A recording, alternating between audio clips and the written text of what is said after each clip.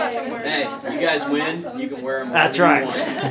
To the podium. Wear them on the podium. You can wear them on the podium. I'm actually done. I'm done. This is video. It's usually dark.